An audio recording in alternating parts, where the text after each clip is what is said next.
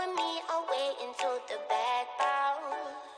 All my life been putting on a fake smile.